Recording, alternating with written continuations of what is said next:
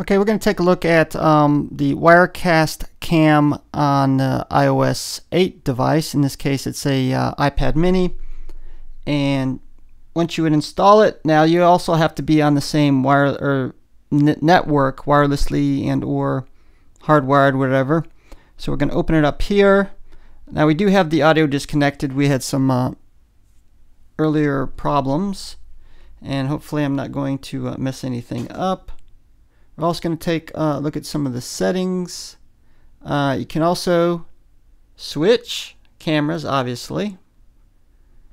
And uh, as well as some of the settings, like I said, we have the audio disconnected, resolution, uh, obviously different ones. We got it 720p, uh, believe, uh, bitrate, and so on.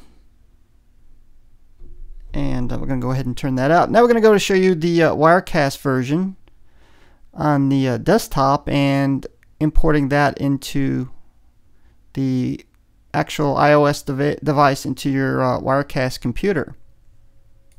Okay, uh, we're going to go ahead and start up Wirecast Cam and we are on the same network um, on my wireless router. Okay, we're going to, uh, okay, we should be streaming right now through to the uh, Wirecast application. Now we're going to open up sources, source settings, and we're going to give it a couple seconds to try to find it. And there's Steve's iPad right there. And we're going to connect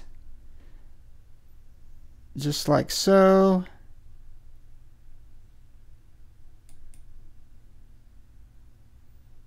And okay should be connected. So we're going to go ahead and open a new uh, video shot here. Add Steven's iPad right here. And uh, we should be going live right here. It'll just take a couple, couple seconds latency. And uh, there we go. Totally remote. Right here.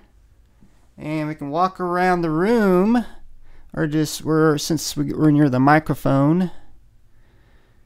And uh, just like so so there's a wirecast cam using your iOS iOS mobile device and I'll try to uh, get this thing. We're seeing a little bit of a latency there but uh, real cool. Uh, so good on uh, Wirecast Telestream